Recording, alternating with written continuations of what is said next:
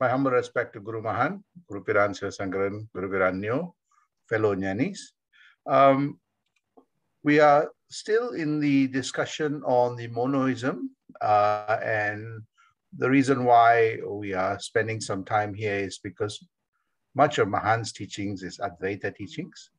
So, and uh, uh, though Mahan has uh, given a very short description of Advaita, I want to give you a more detailed analysis of Advaita. I want to expose you to the different models of describing Advaita so that even if you don't understand the concepts, uh, you understand the models. And the models are, you know, a good way of, uh, a systematic way of understanding, uh, you know, Advaitic teachings and Dvaita. Uh, so you'll see that some uh, element and convergence of between the two which is really important because sometimes people see it distinctively. But when you see in the model, you see that it's actually the models are much more universal and captures uh, the different schools of thoughts quite nicely. And I always felt that uh, in this journey of spirituality, sometimes the concepts can be very abstract. And having examples, uh, and you remember the examples in the you know, and you can, you know, observe the examples and introspect and contemplate over it. And you'll see that, you know, there is a lot of, it's, it's important examples of, you know, from nature itself to tell us nature of our own self. So today I'm going to spend some time about the ocean wave model or the wave ocean model, whatever people call it you may have heard about it in a in a kind of a simplified way. I'm going to take you a little bit more deeper in the understanding of uh, you know the ocean wave model. Um, you know, uh, deeply introspecting using Mahan's lens, and you'll get a more deeper understanding of these concepts. So we see that uh, you know all of us, you know, at some point, you know, have been to the beach and we have seen the ocean We've been, you know, we've seen the waves, and often, you know, we have just, you know, experienced it, but we perhaps have not given deep thought of what this ocean and wave is in the context of who we are as a being. So here, uh, you know, I want to come back to uh, Mahan's uh, um, description of what uh, monoism or Advaitic is. Actually those who have realized the true self and there is this oneness. Everything is this one, and there's no two. And here he says that those that have realized their own true self by the experience of the intellect and do not worship anything what he says pure monoist. Everything is one, and they see this as one integrated, um, you know, uh, system or one integrated reality. And given given this, then why is it that we see multiplicity, and why is it we see duality.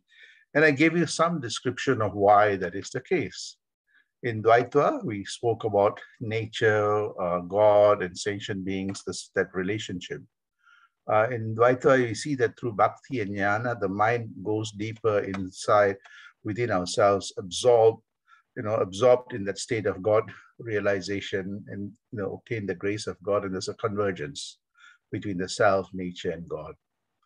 And in Advaita, um, which is, um, you know, uh, it also, it, it starts off with oneness.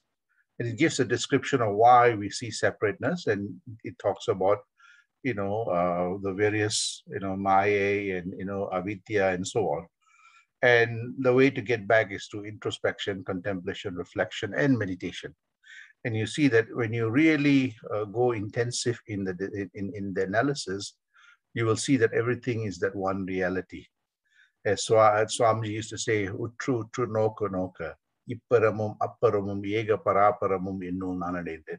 He says that by intensive introspection, you know, intensive observation, you know, and intensive vichara, one will see that the inner and the external cosmos are the same, one, one reality.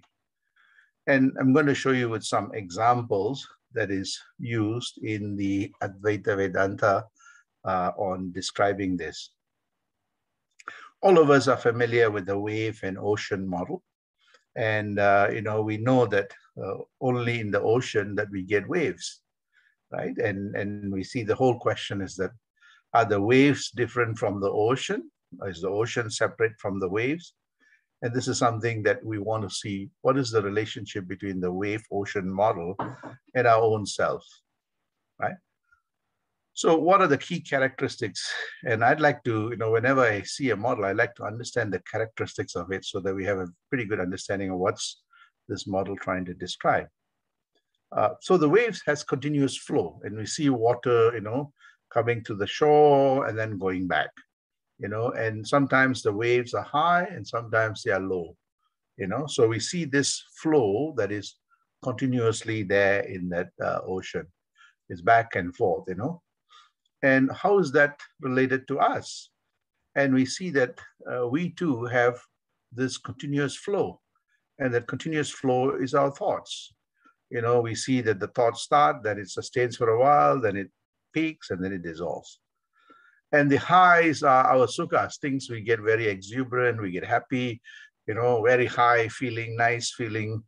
And the dukkha is the ones that are very challenging and, you know, things that we don't like. We get a sometimes you know we feel down you know sometimes we feel depressed you know so things go through that stages and interestingly these experiences we experience this in our waking state but it goes into silence in our deep sleep or in our deep meditation state so this continuous flow is there like the ocean uh, that has waves we too go through that when we go to bed all our thoughts just goes to sleep so we see this parallel between the wave ocean model that we too have that waves and that inner ocean. You know, you can call it the infinite or the formless or the dimensionless or big I or, you know, there are many descriptions that are given, Atma and so on. So whatever it is, I don't want to get caught in the semantics. Let's, you know, keep the focus on there is a continuous flow that we experience through, you know, various thoughts and experiences up and down you know, and it goes all to a state of silence. So this is what all of us go through, and you see that the parallels between the wave ocean model in all of us. So the question I always ask is that what causes that waves? The waves are there, so we need to really understand what the causes are. If we understand the causes, then we can say, how do we manage those causes? And this is the part that is really important. As I mentioned, the spiritual compass, you know a phenomena is taking place, you must ask the question, why is that phenomena taking place? And you cannot take a dogmatic approach. If you take a dogmatic approach, you say, well, it happens, so I can't do anything about it, right? That's not uh, vichara. If something happens, one needs to ask, what are the underlying causes of this, right? Is there anything I can do? And this is what we see that we take a scientific approach you know, as I mentioned, you know, both in the Dvaita and Advaita, the scientific lens is there embedded. This is called Vichara. And another aspect is actually the logical, using logic and reason to be able to understand what's causing this. So when we look at the, the, the oceans and the waves, we see that there are a number of things that causes these waves. We have wind, we have different pressure, you know, atmospheric pressures that, that changes we also have man-made disturbances, you know, for example, of a, a, a major, um, you know, boat passes by, you will get the waves, the ripples in the water, right? Uh, we also have this gravitational pull, you know, the, the gravitational pull between sun and the moon has an impact on uh, the water, the way the oceans that, that we live in, right? And also we do have this underwater disturbances and sometimes, you know, we have the tectonic shift that takes place because of earthquake or major landslide or volcanic eruption. We see that, you know, sometimes it creates wave and in the extreme cases, it creates tsunamis. And uh, so this causes, uh, you know, some of the waves. You know, some of them are small waves, some of them are really big waves, some of them are really dangerous uh, waves like tsunamis that can wipe out uh, land and people, right? So this similar parallel of these waves are also the causes, you can see a very parallel in all of us. So we see that, you know, we have wind that's causing this. In us, the thoughts and the, the turbulence is caused by winds of materiality, right? So we have these desires that we have, you know, we have great desires, you know, all that creates a lot of turbulence, right? And sometimes the desires are very successful and you know, we get, you know, very happy feeling, you know, exuberance, the sukha waves are very high. But there are times that we also have uh, things don't turn out as we want. And we have disappointments, you know, uh, we have challenges, we have a lot of pressures, we get go through a lot of uh, intensive, uh, you know, uh, pressure that causes a lot of turbulence. So that too has an impact, you know, that creates that turbulence in our mind. There are other things as man-made, you know, things like our own behavior, you know, we are harsh to people, we are nasty to people and they react in that same way. So sometimes our own behavior causes, you know, uh, unnecessary pressure. And sometimes, you know, our good behavior also generates, you know, uh, calm and sublimity and positivity.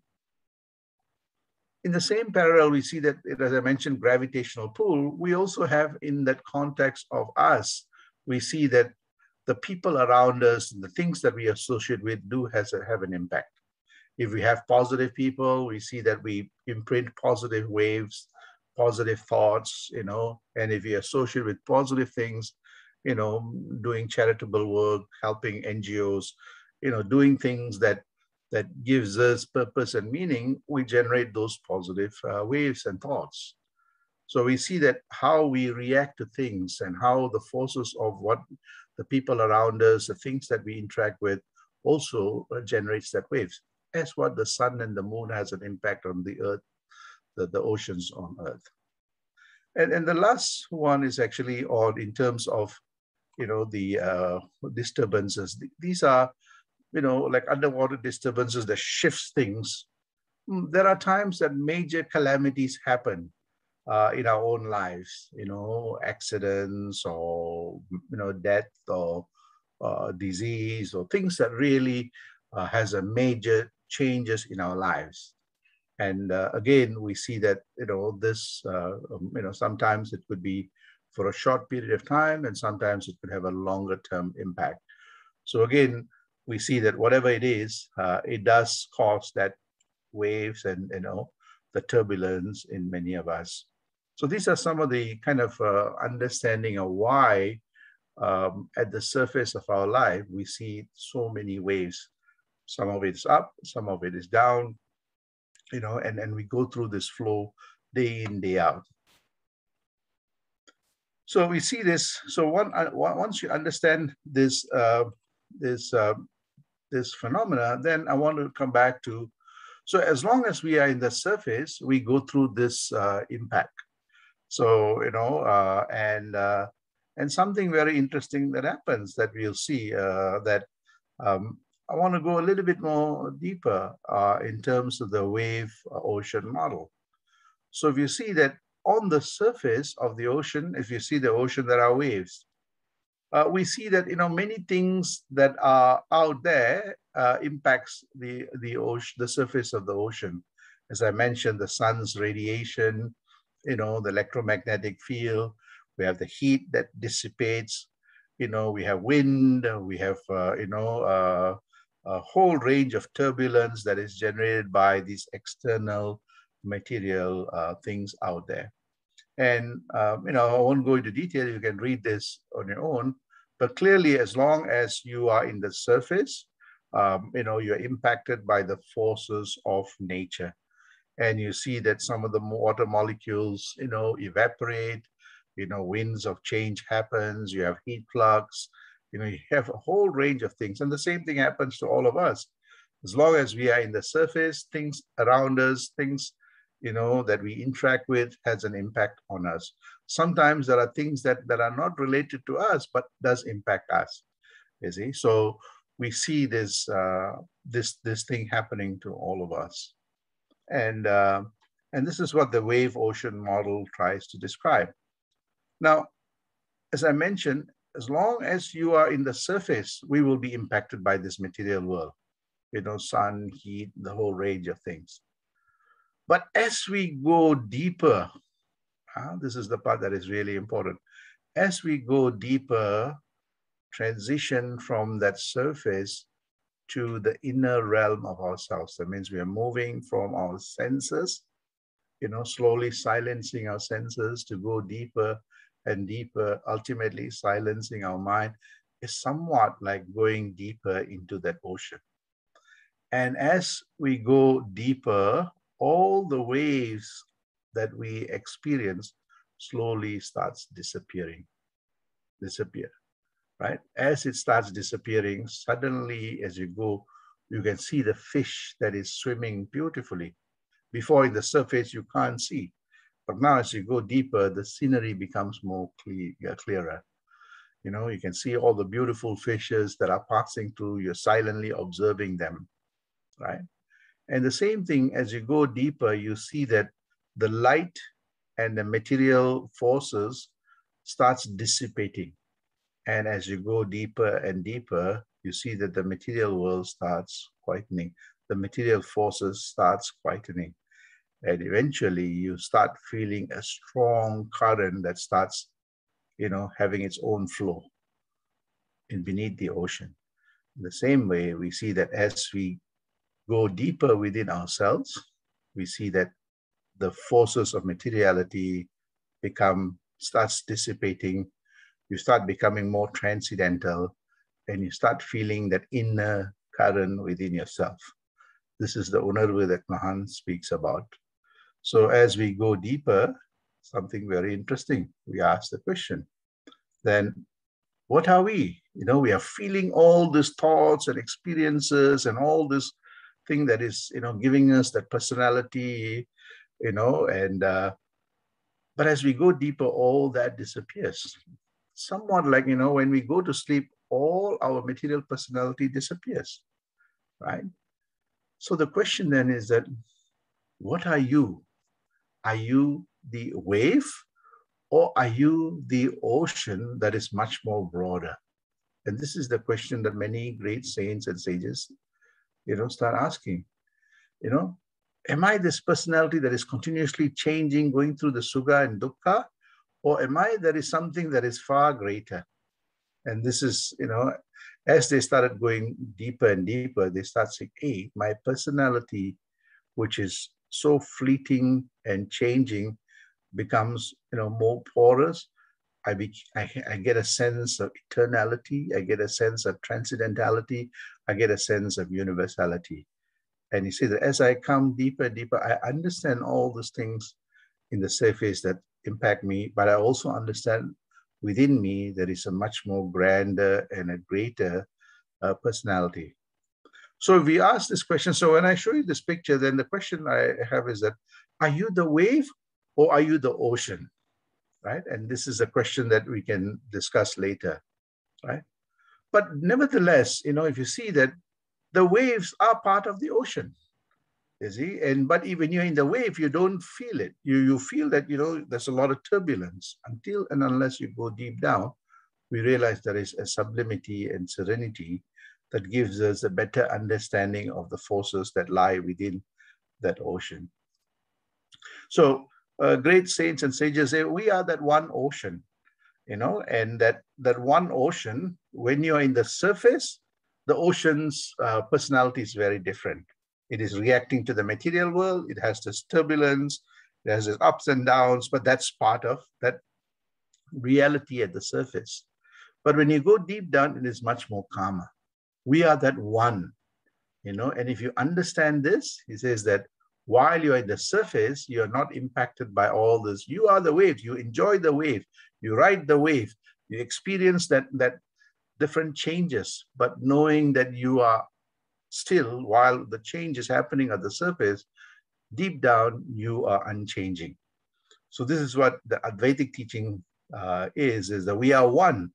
Though on the surface we are continuously changing, you know, this is part and parcel of the limitedness of our four-dimensional material universe with time, but deep down we are timeless, formless, dimensionless. So again, uh, I come back to asking this question, what are you? You know, what have you experienced?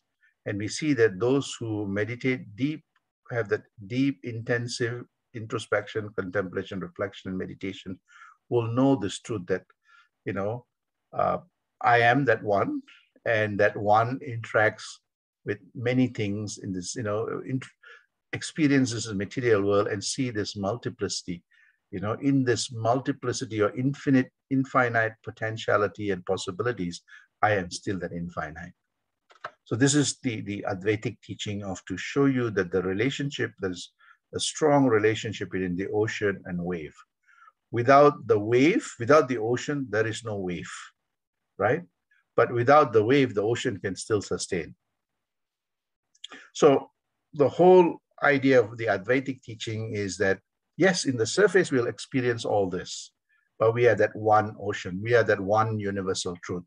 So understanding that, so a mind that understands this universal truth is, you know, universal and transcendental, though it interacts with this material world and is inspired and, and, and illumined by these different changes that is taking place and is enriched by it. So this is the, the wave ocean model. Uh, so the question then is, how do I reduce the turbulence in our mind? Great, all this is fantastic, you know, uh, uh, but how do I actually do this? You know, uh, I'm experiencing the surface turbulence. What do I need to do uh, to be able to be transcendental? And, and let's look at some of the causes that causes this turbulence, right? So I come back to this, this uh, five key uh, causes that uh, causes turbulence in us. The winds of materiality, the desires, right? And, and what does the Advaitic, um, you know, masters say, like Mahan and others?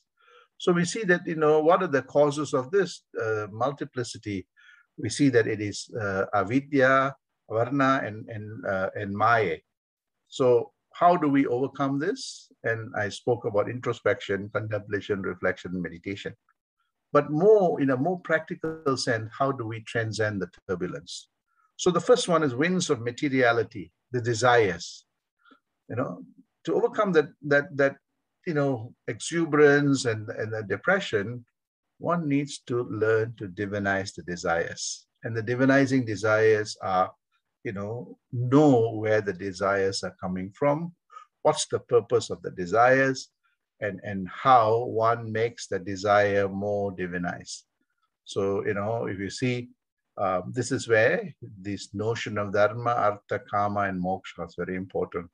Acquire the knowledge to help you divinize every facet of your thoughts and ambitions and aspirations. You know, and you know, you can we can discuss this a little bit more. How do I take my desires and make it more divinized? There are ways to do this. And uh, as you go deeper, and as through this introspection, contemplation, reflection, you'd get the jnana to observe every desire of yours and make it illumined, make it enriched, and make it enlightened. The answer comes from you. So the first aspect of this uh, turbulence that is caused by the winds of materiality because of desires, one will need to learn to divinize the desire, not you know run away from the desire or give up the desire, divinize the desire. The second aspect is that the pressures, the disappointment, challenges, right? We all get challenges, we all get disappointed, but you know, yes, it's it's it's it's human nature to go through this but we have to learn to accept everything. You know, even though there are challenges and disappointments and failures, you know, one needs to learn to use that as a foundation for our enlightenment and enrichment. There is no successful person has become successful without disappointment and challenges. They have learned to transform scars into stars, impossible into I am possible, and these precious into treasures of learning and enlightenment, the pressures into treasures, know, foundation for the next stage of development. So we see this, you know, learning to accept everything and not expecting anything. Just do it. When you expect things, this is when sometimes when you don't get it, you uh, get disappointed. When you don't expect and something happens, think of it as a bonus. Think of it as a blessing. Think of it as, you know, a part and parcel of that enlightenment and enrichment. So this is the second uh, dot point on learning to transform precious into treasures.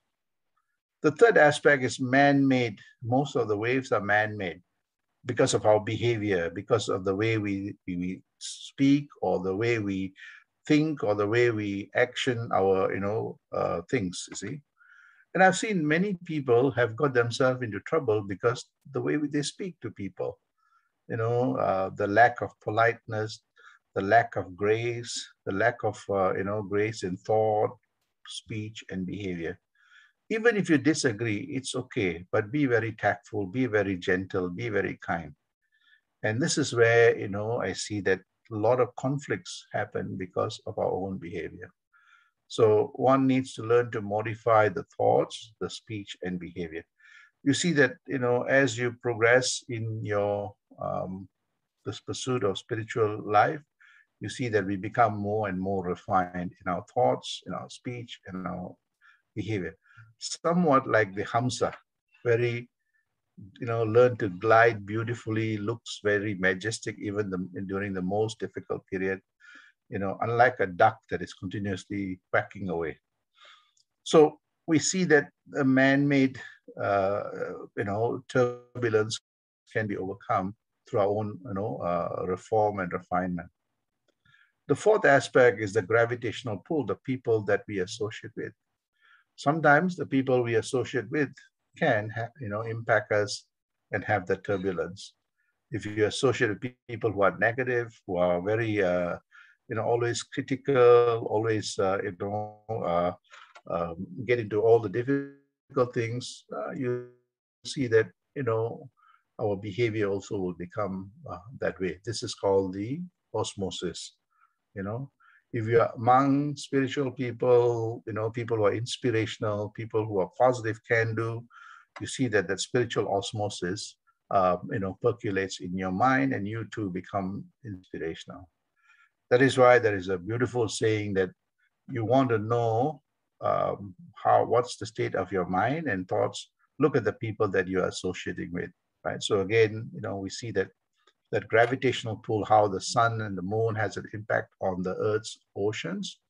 In that same way, our gravitational pull uh, will determine that is the people that are around us, the orbit that in will determine actually on this underwater disturbances, the major calamities in our life that impact us. We need, so, so there are things that happens, you know, we may not know why it happens or how it happens. But one thing we know that many of it, you know, is because there are structural changes that happen in our life, you know, and the way to overcome this is that we need to understand and master the power of the underlying substratum in us. So within us, if we learn to master this, we are able that the mind becomes like a sponge to absorb it, assimilate it, integrate it, and, and become enlightened by it. It uses this inner substratum as a shock absorber to manage any major calamities and turbulence. Death, disease, or poverty is able to absorb, assimilate, integrate, and become enlightened by it. So this is where we see that going deep down um, enables us to overcome these turbulence. So as long as we're in the surface and the turbulence, if our learning and our jnana is at the surface level, not deep, we will always experience this turbulence. If our knowledge becomes deep and wide, like the ocean, we will learn to divinize our desire. We'll be le- we, we learn to accept everything and anything. You know, we're able to sustain everything and anything, like the ocean. We're able to, you know, transform and modify our thoughts and speech to become more refined and more graceful we're able to associate with people of multitude and infinite potential from diverse areas and diverse knowledge that we're able to acquire. And ultimately, we're able to anchor the mind so that the mind is powered by the inner substratum or the force so that it's able to absorb, you know, adapt, assimilate, integrate, and be enlightened, you know, by everything that is happening to us and we see that the mind becomes ultimately transcendental to everything and universal. And this is what the Advaita teachings. So the way to reduce this turbulence, if we're able to reduce it, we realize that universal peace in all of us. And this is the true uh, essential teachings of Advaita. So I want to finish off with a nice quote of Mahan, uh, you know, which I want you to think about very, very carefully. He says, if you look at the mirror, you'll find your true image. Your image does not become large or small to the size of the mirror. So you can change the mirror, you put a big mirror, your size doesn't change. You don't change. Or you put a small mirror, maybe you can see a limited version of you, but nevertheless, you don't change. And then he says that if the same mirror breaks into several bits, though you, are one object, you'll find as many images there are, you know, as there are the bits. So this is a very profound statement by Mahan it says that, you know, you are one. So the oneness is there. Like the ocean, there is this oneness, right? And if our, you know, mind expands or, or, or, or, you know, gets smaller, we are still the same. We are still the one. But if the mind fragments into multiplicity, it will see that manifestation in all the bits and bytes, right? So what he's saying here is that, that that oneness, you know, is that one, no matter what the size and the shape, but in the different bits and bytes, different facets of life, it is still that one. It appears. So this is what we call the DNA. DNA is that we share that one DNA. And if you look at your hair, the DNA is present. If you look at your skin, the DNA is present. The wholeness is there in all the bits and the bytes. In that same way that universal personality and identity is one, but it appears in everything. So as Swamiji says, uh, you know, that and Advaitic masters say that, you know, I am the manifestation of all and all is the manifestation of me. And this is what the oneness is. So why this is really important is that if we understand that oneness in us, that oneness could be infused in every facet of our lives, right? So while there's bits and bytes, so we we can we take different different roles in our lives, you know. In that role, or as as as as a son or a daughter, we have that oneness. In that role as a youth or a student, we have that oneness. So we have this multiplicity of roles, but yet all of it appears as one you know, in these different roles, you know, as a as a as a, a householder, as a professional, as a community leader. So he, he says that this oneness, one, but you know, when nature fragments it because of this multiplicity, that oneness appears fully in all that. So, and this is what that, you know, Advaitic uh, understanding that, you know, there is just this oneness and the fragmentation is because of nature or because of this, you know, uh, Maya or, you know, Avidya and Avarna, that super projection. So we see that our lives are projection, and that is why we see that multiplicity. Within that multiplicity, you know, the oneness is still there. That's how we see in that ocean, the surface, multiple waves, it's part of that one ocean. Sandosham.